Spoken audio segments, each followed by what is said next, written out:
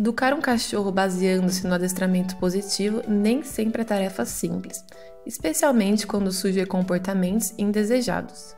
E é aí que alguns tutores decidem castigar e dar bronca nos cachorros sem saber que algumas técnicas são totalmente inadequadas. Neste novo vídeo do Perito Animal, nós vamos te mostrar quais são os 5 erros mais comuns ao dar uma bronca no cachorro.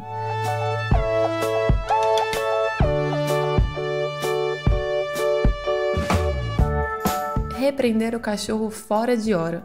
Você já provavelmente ouviu que dar bronca no seu cachorro quando ele não está fazendo nada é errado e não faz sentido.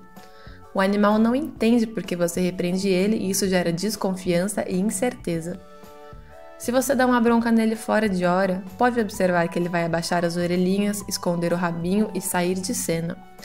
Isso não significa que ele te entenda, mas eles reagem assim devido à nossa tensão transmitida pelos sinais de raiva e saem para que você pare. Exceder-se. Passar do limite na bronca é sempre ruim, independente do motivo. Você deve evitar gritar, utilizar a violência, empurrões e outros estímulos prejudiciais como as coleiras elétricas.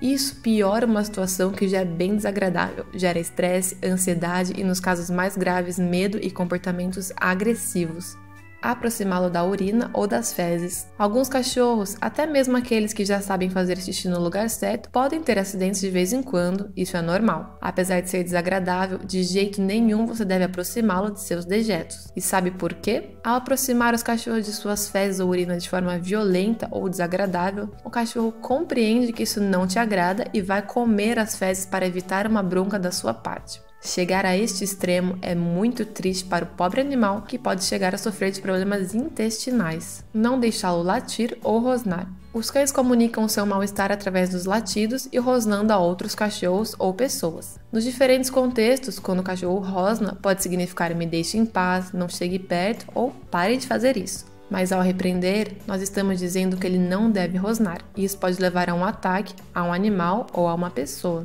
Ser incoerente.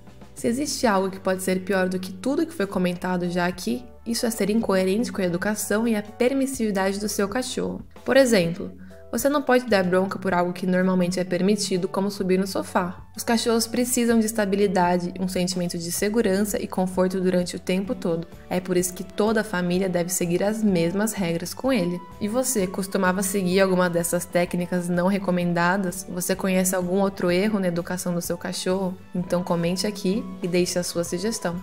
Aí, se você gostou do vídeo, não se esqueça de curtir e se inscrever no canal para acompanhar os próximos. Até o próximo vídeo, peritos!